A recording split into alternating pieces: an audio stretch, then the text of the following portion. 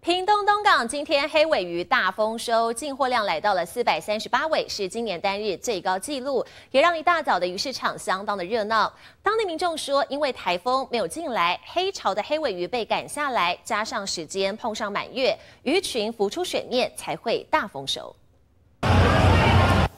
市场一大早就非常热闹，因为看看地上白满满的黑尾鱼，让人几乎没有走动的空间。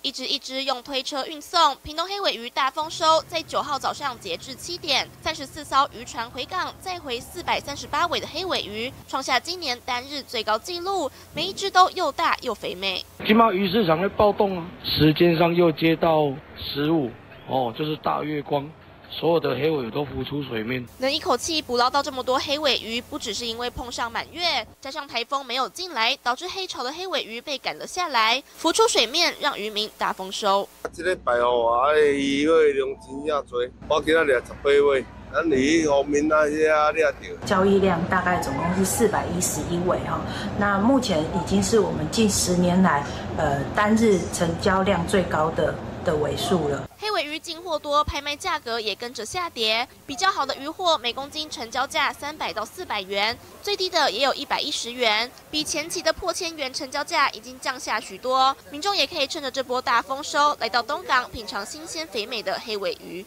记者苏世伟，屏东报道。